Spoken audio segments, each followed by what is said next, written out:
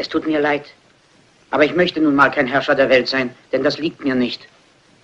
Ich möchte weder herrschen noch irgendwen erobern, sondern jedem Menschen helfen, wo immer ich kann.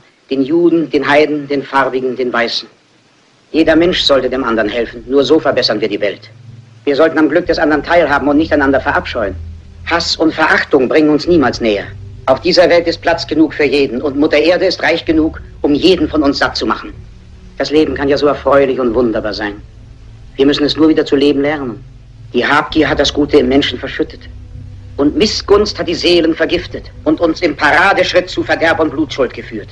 Wir haben die Geschwindigkeit entwickelt, aber innerlich sind wir stehen geblieben. Wir lassen Maschinen für uns arbeiten und sie denken auch für uns. Die Klugheit hat uns hochmütig werden lassen und unser Wissen kalt und hart. Wir sprechen zu viel und fühlen zu wenig. Aber zuerst kommt die Menschlichkeit und dann erst die Maschinen. Vor Klugheit und Wissen kommt Toleranz und Güte.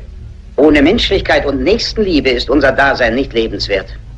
Aeroplane und Radio haben uns einander näher gebracht. Diese Erfindungen haben eine Brücke geschlagen von Mensch zu Mensch. Sie erfordern eine allumfassende Brüderlichkeit, damit wir alle eins werden. Millionen Menschen auf der Welt können im Augenblick meine Stimme hören. Millionen verzweifelter Menschen, Opfer eines Systems, das es sich zur Aufgabe gemacht hat, Unschuldige zu quälen und in Ketten zu legen. Allen denen, die mich jetzt hören, rufe ich zu, ihr dürft nicht verzagen. Auch das bittere Leid, das über uns gekommen ist, ist vergänglich. Die Männer, die heute die Menschlichkeit mit Füßen treten, werden nicht immer da sein. Ihre Grausamkeit stirbt mit ihnen und auch ihr Hass. Die Freiheit, die sie den Menschen genommen haben, wird ihnen dann zurückgegeben werden. Auch wenn es Blut und Tränen kostet. Für die Freiheit ist kein Opfer zu groß.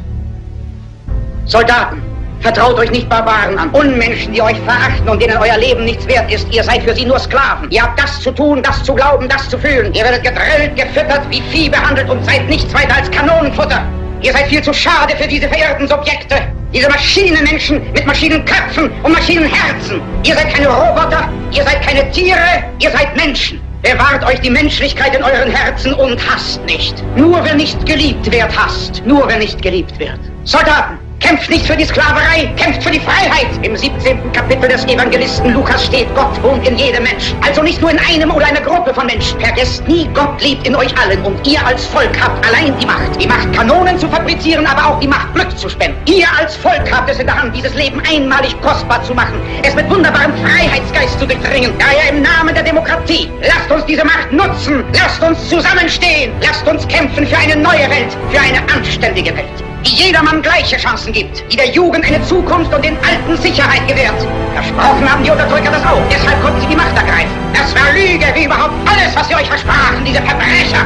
Diktatoren wollen die Freiheit nur für sich, das Volk soll versklavt bleiben. Lasst uns diese Ketten sprengen, lasst uns kämpfen für eine bessere Welt. Lasst uns kämpfen für die Freiheit Ziel, für das sich zu kämpfen lohnt. Nieder mit der Unterdrückung, dem Hass und der Intoleranz. Lasst uns kämpfen für eine Welt der Sauberkeit, in der die Vernunft siegt, in der Fortschritt und Wissenschaft uns allen zum Segen gereicht.